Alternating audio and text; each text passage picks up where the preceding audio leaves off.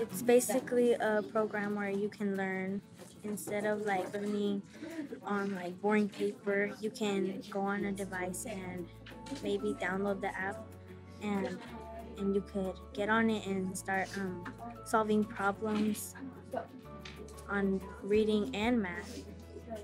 I personally like it a lot. It makes me feel uh, like accomplished. Carver Elementary is a school of around 700 students.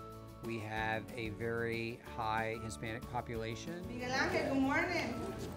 We have a very high economically disadvantaged population.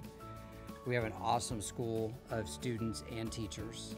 We have hardworking teachers and students and parents that really care about their kids. We have very diverse, lots of different programs available for our special needs students. And so it's amazing how we're able to reach out to all these children and see the growth that we're seeing. They're just doing tremendously right now.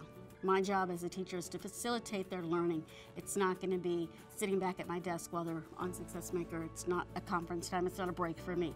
It's getting involved with them, making sure that their learning is occurring and they're taking hold of it and they're able to hold on to it. We think it's important that the students take ownership. So if they're able to see their strengths and weaknesses, they're able to see what they're doing well on, it makes them proud. And at the same time, you show them where they're struggling and it makes them take ownership of it and want to do better.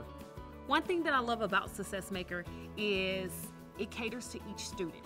For an example, I love that it reads it out to them because even though I teach a higher grade level, many of my students are not on fifth grade grade level coming to me. And so this program actually allows them to listen to the fluency so they can gain the comprehension to understand the questions. I promise you we have talked about it, but SuccessMaker presents it in a different way.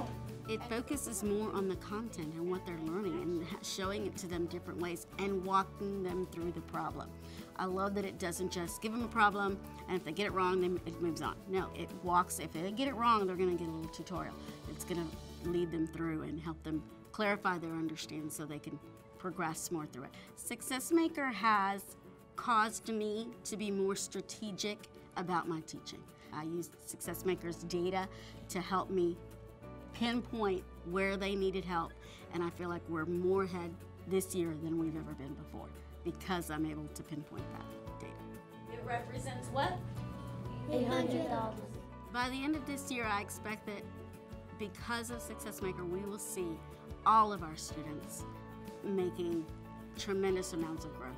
Not just our struggling, not just our GT, but all of our students are going to make tremendous growth and do so much better than had we not had this resource to, to use. We're using SuccessMaker to build success in our students and we're seeing it and it's, it's amazing, it's wonderful.